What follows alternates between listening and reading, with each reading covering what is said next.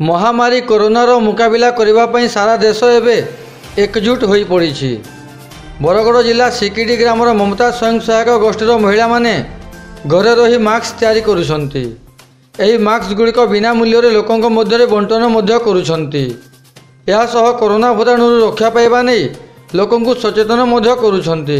ସ୍ୱୟଂ ସହାୟକ ଗୋଷ୍ଠୀର ମହିଳାମାନେ ନିଜ ନିଜ ଭିତରେ ଟଙ୍କା ବାହାର କରି ଏହି ମାସ୍କ ତିଆରି କରିଛନ୍ତି। ସରକାରୀ ସାହାଯ୍ୟ ମିଳିଲେ ସେମାନେ ଆହୁରି ଅଧିକ ମାସ୍କ ତିଆରି କରିପାରିବେ ବୋଲି ପ୍ରକାଶ କରିଛନ୍ତି କୋରୋନା ଯେନ୍ ଭୟାବହ ଯେନ୍ ଇହାଦେ ଯେନ୍ ଯୁଦ୍ଧ ଚାଲିଛେ ମାନେ ସବୁଆଡ଼େ ଚୀନ ଚୀନରେ ଆରମ୍ଭ ହେଇକରି ଏ, ଧୀରେ ଧୀରେ ତେହରୁ ଭାରତକେ ଆକ୍ରମଣ କଲା ଭାରତରେ ତାପରେ ସବୁଆଡ଼େ ବ୍ୟାପି ଗଲା ଉଁ, ବେଲେ ସବୁଆଡ଼େ ଲକଡାଉନ୍ ହେଇଯାଇଛେ। ସମସ୍ତଙ୍କୁ ଆକ୍ରାନ୍ତ କରୁଛେ ସେଟା ତ ଭୂତାଣୁ ଦ୍ୱାରା ହଉଛେ ସେ ରୋଗଟା। ଜାନି ନାଇଁ ହେବାର୍ ତାର୍ ମାନେ କାହାରନ କେନ୍କେ ସେଟା ହଉଛେ ସେଟା ଜନା ନାଇଁ ପଡ଼ବାର୍।